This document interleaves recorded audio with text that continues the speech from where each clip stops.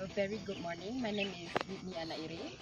And my name is Hazirah binti Husin. Uh, we are from Physical and Health Education uh, from UITM Puncak Alam. So today, uh, Hazirah and I will talk about practice teaching style. For this kind of practice teaching style commonly used in physical and health education. Normally, this kind of practice teaching style used in certain tasks or activity that, may, that must be performed according to the specific model which involves students for direct feedback from teacher.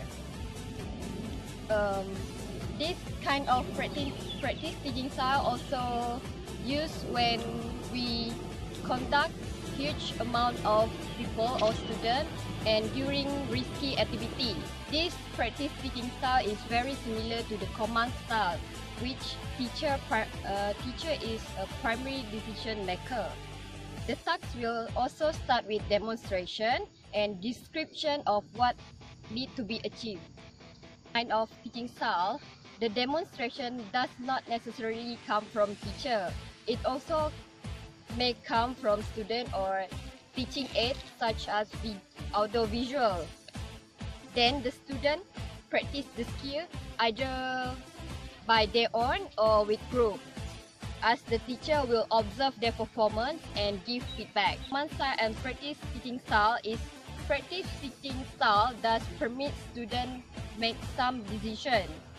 For example, student can choose the pace, time or skill that need, that need to be used. And they can also choose either they work by their own or in a group.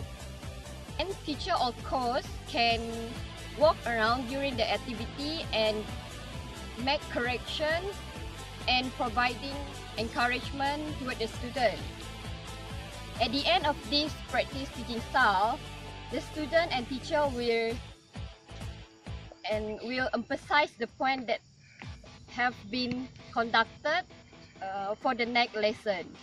So now we move to Hazirah that will conduct the activity.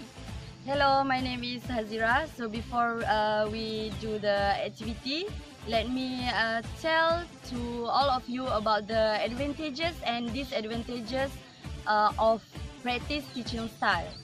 There are five advantages in practice teaching style. Firstly, students begin to experience independence. Secondly, students will uh, increase uh, their skills of communication. And thirdly, students can determine the progression of the class. For example, uh, they know the pace uh, of the game and where to start and where to stop. Fourthly, the practice teaching style is very useful in coaching. And fifthly, a teacher making a correction during activity and give uh, and teacher can give feedback at the end of the class. Next, for the disadvantages in practice teaching styles, there are two disadvantages. Firstly, time on task can be affected. And secondly, most, most of the time, the decision is made by the teacher.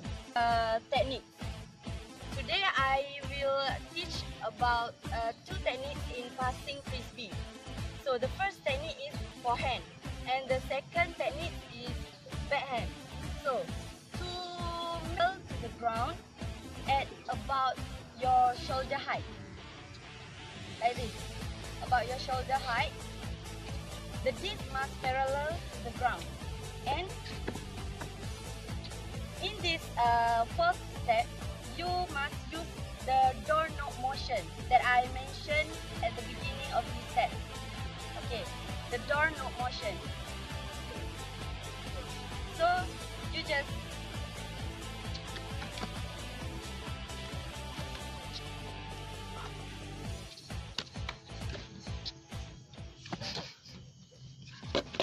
So everyone, you did a great job. So